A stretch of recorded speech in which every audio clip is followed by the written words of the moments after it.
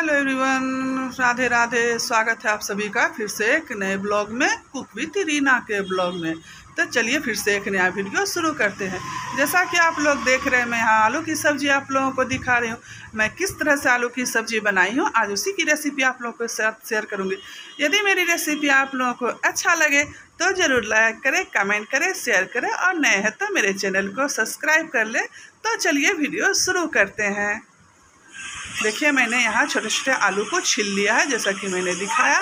उसके बाद मैं दो पीस करके उसे कट कर ली हूँ। आप लोग देख ही पा रहे होंगे मैंने किस तरह से कट किया और मैं आप लोगों को दिखा भी रही हूँ। तो और यहाँ पे दो बड़े प्याज को मैं पीस के पेस्ट बना लूँगी मिक्सी के जार में डाल के। यहाँ मैंने पानी दे दिया है, प्याज भी दे दी हूँ और ढक्कन लगा दी। और तैयार हो गया प्याज का पेस्ट। आगे देखिए मैं क्या कर रही हूँ फिर से। गैस ऑन करके मैं कढ़ाई चढ़ा दी हूँ, कढ़ाई गर्म होने के लिए दे दी हूँ। कढ़ाई गर्म हो जाएगी तो मैं सरसों का तेल भी डाल देती हूँ। सरसों का तेल डाल देने के बाद यहाँ आलू को धो के मैंने छलनी में रख दिया है कि सब पानी निकल जाए। तो तेल इधर गर्म हो चुकी है, मैं आलू इसमें डाल देती हूँ और आलू को पाँच से सात मिनट तक मैं अच्छे से लाल रंग के कलर के में भूनूँगी।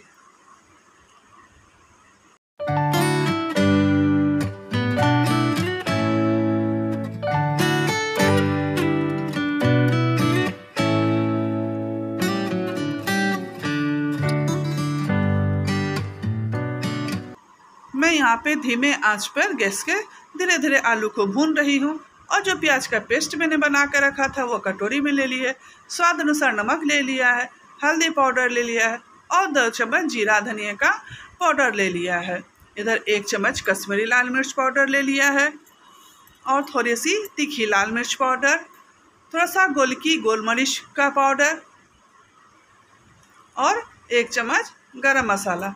सभी को मैं मिला के इसका पेस्ट तैयार कर लूँगी।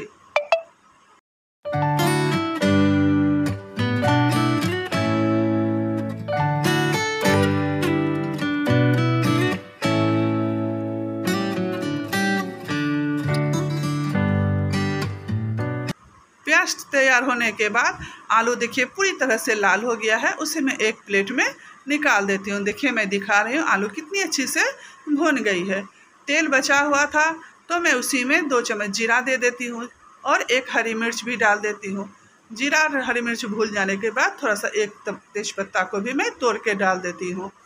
ये सभी भून जाएँगे तो मैं इसमें मसाला मिला दूँगी जो मैंने पिस्ट तैयार करके रखा हुआ है। और इस मसाले को मैं अच्छे से भूनूँगी।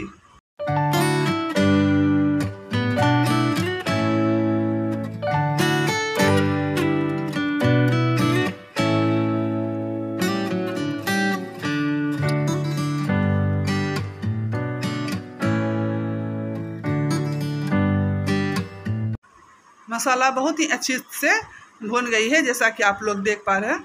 मैं यहाँ पे थोड़ा सा चीनी मिला रही हूँ। आप लोग को डालना होगा तो डालिएगा, ये ऑप्शनल है। मुझे अच्छा लगता है, थोड़ा सा मीठा पसंद है, इसलिए मैं थोड़ा सा चीनी डाल देती हूँ। इससे सब्ज़ी में स्वाद और भी बढ़ जाता है।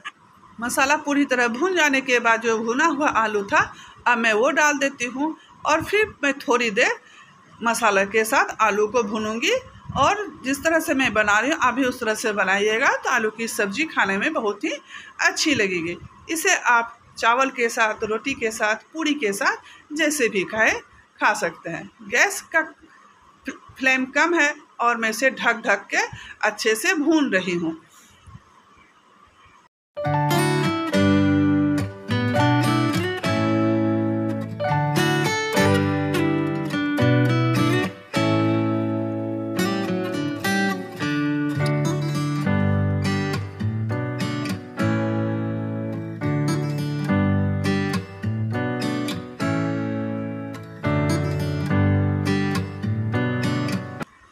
दो से तीन बार मैं कम आँच पे ढक ढक के आलू को इस तरह से भुनी हूँ। देखिए, मैं दिखा रही हूँ, आलू कट हो गया है। आलू पक गया है थोड़ा सा और थोड़ा सा बाकी बचा हुआ है। अब मैं इसमें अपने अंदाज से पानी दे दूँगी। आप चाहें जैसे भी खाएँ, जितना पानी लगे उतना ही दें। देखिए, मैं पानी दे देती हूँ और फिर चला के मैं इसे ढक दूँगी। अभी मेरा गैस फुल फ्लेम पर है और मैं फिर से इसको ढक देती हूँ।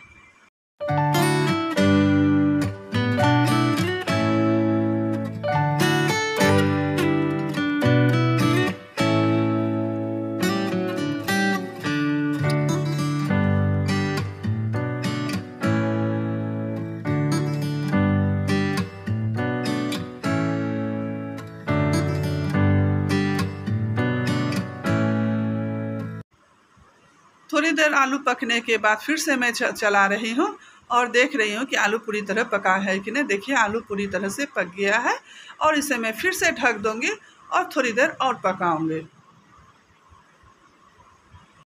हम लोग जिस तरह से सस्ते संवरते हैं, सस्ते संवरने में भी काफ़ी टाइम लगता है, बहुत सारा मेकअप करना पड़ता है, उसी तरह से खाना भी बनाना पड़ता है धीरे धीरे थोड़ी देर ढक देने के बाद फिर से देखिए, मैं दिखा रही हूँ और फिर चला के दिखा रही हूँ, आलू की सब्ज़ी बन के तैयार हो गई है।